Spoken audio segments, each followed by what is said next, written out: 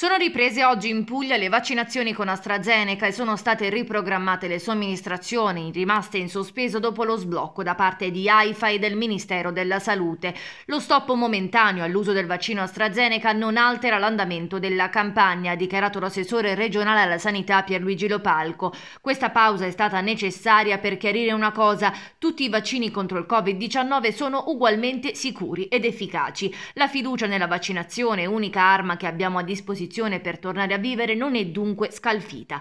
Al momento la Puglia con l'82% dei vaccini effettuati si conferma in cima alla classifica nazionale, preceduta solo dalla Valle d'Aosta e dalla provincia autonoma di Bolzano. Su 581.545 dosi consegnate, in Puglia ne sono state somministrate 483.672. Di queste 128.660 agli over 80, 83.257 al personale scolastico e universitario 13.443 alle forze dell'ordine. Per queste ultime due fasce la Puglia ha raggiunto una copertura del 90% della platea con la prima dose. Oggi inoltre sono state consegnate 250 dosi al personale specializzato del Dipartimento di Prevenzione dell'ASLA di Taranto, riservata ai militari in servizio, 100 dosi al Comando Legione Carabinieri di Bari. La prossima settimana inoltre partiranno le prime vaccinazioni con Pfizer nel carcere di Bari destinate a detenuti agenti penitenziari con patologie che rientrano nei fragili secondo le disposizioni ministeriali